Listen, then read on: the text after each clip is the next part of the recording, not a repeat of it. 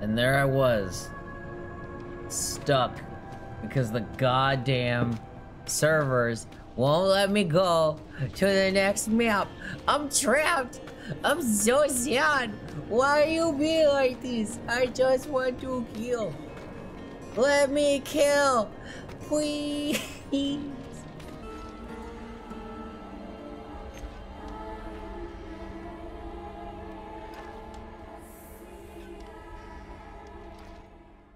Before we begin, I'm just going to let you know by starting off that there will be no story spoilers in this review. Um, if enough people like this video, I may just do a terrible retelling video. It's up to you guys. So, obviously, if you want that, leave a like on the video. Don't forget to favorite, subscribe, ring the super specific bell stuff that YouTube wants us to do. You know, standard YouTube stuff. Let's get started. Diablo 4 is a 3D isometric action role playing game developed and published by Blizzard Entertainment and is the fourth main installment in the Diablo series. This series contains staples such as the replayable procedural generated dungeons and loot focused character building, with the addition of an open world. Players create their character from one of five playable classes barbarian, druid, necromancer, rogue, and sorcerer. The game will then guide them through quests and combat in the world of Sanctuary after the resurrection of the demon Lilith. Uh, with that, let's begin with my background. This is the first Diablo game I have played. I played Path of Exile for about a thousand plus hours, but I've never played a Blizzard Diablo game before. Uh, since we're not going to get into any story spoilers, I'm just going to focus on gameplay. At the beginning of the game, you're introduced to the skill tree, a nice combat tutorial tied into the story. You have six available skill slots tied to buttons one, two, three, four, right mouse click, left mouse click on PC. The game does have stellar controller support, and those keys are assigned based on the type of the controller you used. So in this case, I used a PS5 controller. Every one of the options switched over to the exact button on the controller that tied to these controls. There are a lot of intricacies later in the game regarding these moves, and the synergies with these moves are really nice. Standard items, rarity levels of common, magic, rare, legendary, and an additional rarity called sacred, which can be either rare or legendary items. There's a salvage system, where gear marked as junk can be scrapped for upgraded items or sold at a different vendor. And this game has a lot of systems with similar functions when it comes to your gear. There is a jeweler that allows you to craft gems to higher level and add gem slots to your gear and remove gems from your gear there's also an occultist that adds codexes of power unlocked from special dungeons around the world. There are 115 of these codexes of power that can be unlocked through the dungeons. You can also have the occultist extract aspects from your gear that you really like, destroying the item but granting you the aspect that are stored in a special inventory on your character. There's an alchemist that allows you to craft, I use the term extremely loosely, upgraded healing potions at level 1 as a tutorial, level 10, 20, 30, 45, 60, 70, 80, and 90. From what I can tell, the top level of your character is either 90 or 100. I didn't get that high. I don't have the time.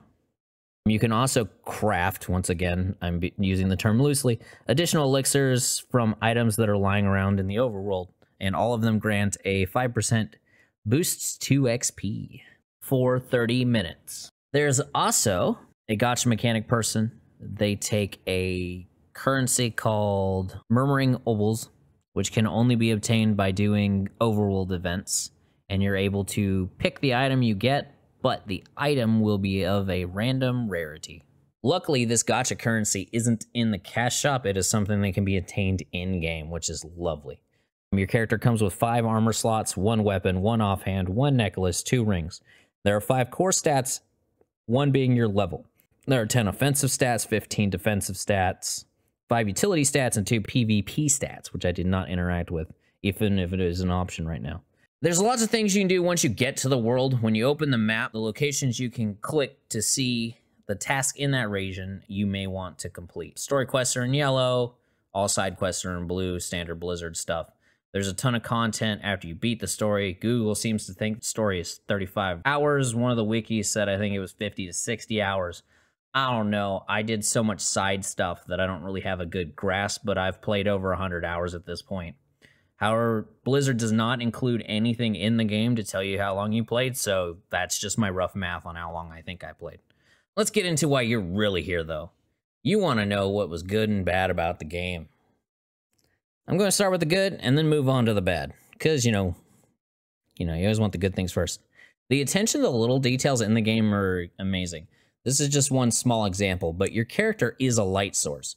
So the developers were able to set the mood of all the dungeons or areas with the appropriate lighting that they wanted to convey what they were going for, but at the same time, they wanted you to be able to see in those areas. So your character puts off a slight light to make it a little bit easier for you as the player to see what's going on. The in game cutscenes and cinematics are amazing. Between the rendered scenes, the lighting, the voices, the story, it in itself is just a chef's kiss.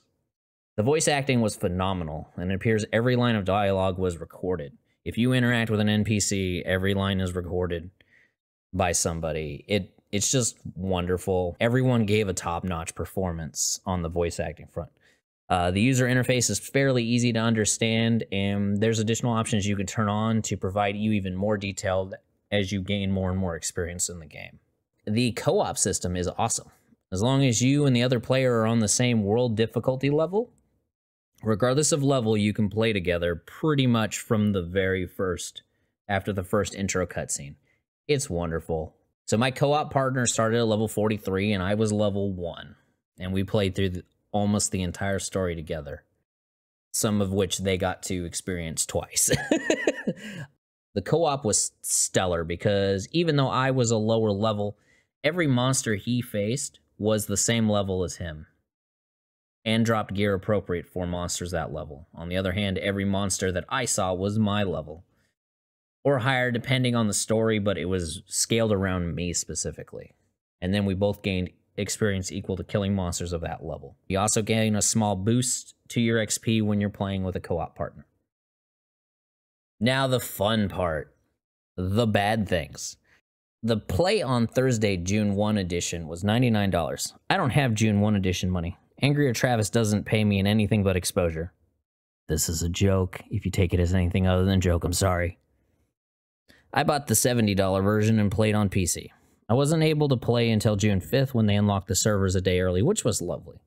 All my experience was when everyone could play the game. My biggest complaint in the game is the perpetually online. That's always a constant gripe for me now, it's cool to see others in the overworld and helping them do the group quests and knocking those out with people and getting the loot. I love that.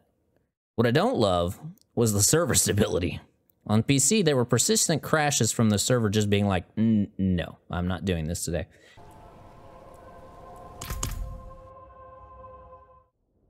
Oh.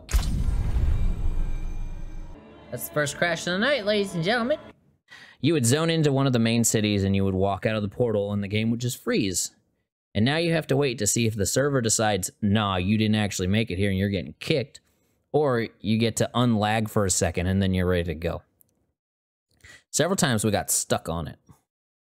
Now, they've slowly patched it to make it a little bit better, but they haven't fixed it. So now when you zone in, the, you still have that long lead time, but you're less likely to crash. If you crash during a story dungeon, you are going to do the entire story dungeon from the beginning again. I had to do that for four story parts. I'm not a happy camper.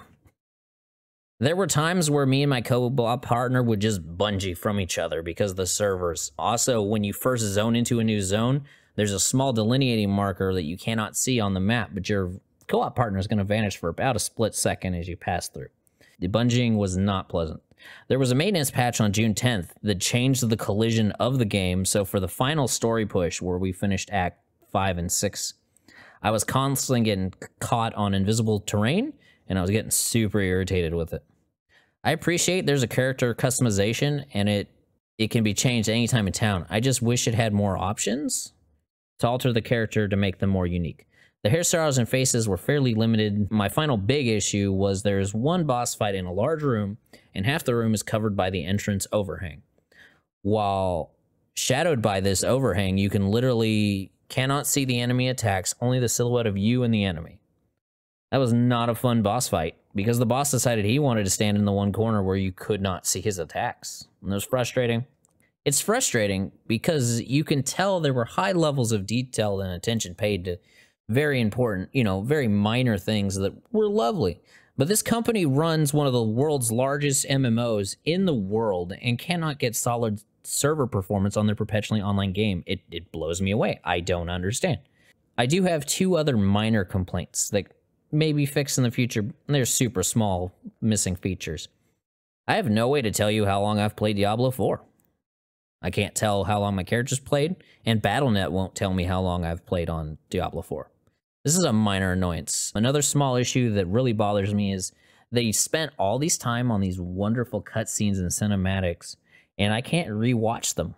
I have to literally play through the entire game again to rewatch them. This is a travesty, especially because how solid the cutscenes are. Overall, I'm going to give Diablo 4 uh, 9 out of 10.